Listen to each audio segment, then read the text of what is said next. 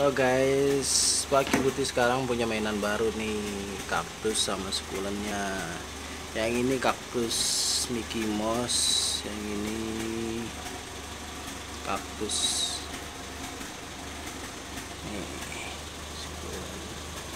Ini sekulen nih. Ini kaktus lokal.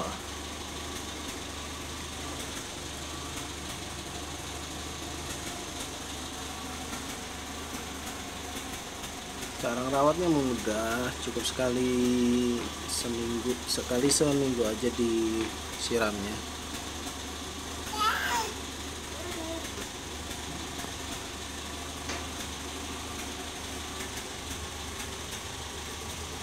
Kalau yang sekulen ini jangan terlalu banyak air pas lagi nyiramnya supaya dia tidak busuk.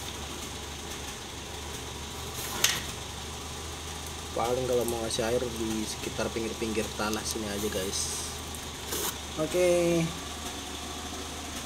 sampai ketemu di video selanjutnya Dah.